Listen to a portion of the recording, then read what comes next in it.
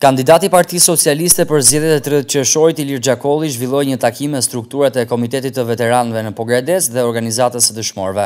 Bashkëbisedimi është përqendruar tek zgjedhjet e tridhjetë qershorit dhe punëve që do të ndërmerren sapo të nisë drejtimi i bashkisë, thotë Xhakolli. Në këtë takim janë marrë disa vendime, të cilat sipas Xhakollit, do të vihen në jetë deri në nëntor në kuadër të shtatëdhjetë e pesë vjetorit të çlirimit.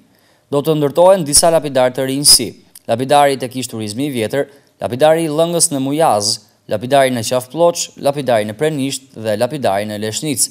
Njëkohësisht, do të bëhet edhe ngritja e bustit të heroit të popullit Kajo Karafili në fshatin Blacë, si dhe vendosja e bustit të Minazh Jollës.